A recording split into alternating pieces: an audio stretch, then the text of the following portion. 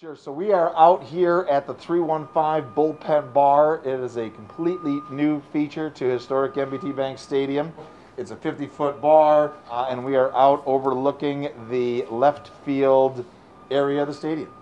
we certainly wanted to present the, the best atmosphere we could for the customers here and the, the fan base. You know, I think that they're going to come to the stadium this year and just, you know, be amazed at the at the transformation of this stadium.